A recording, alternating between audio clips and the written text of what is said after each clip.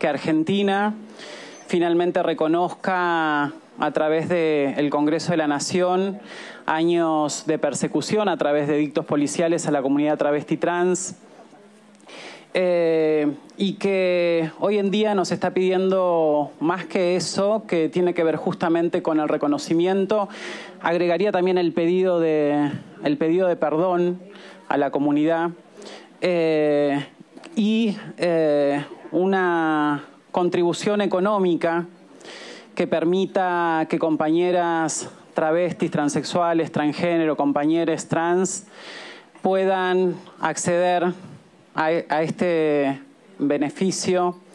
Eso que dice el himno, coronados de glorias, podemos vivir.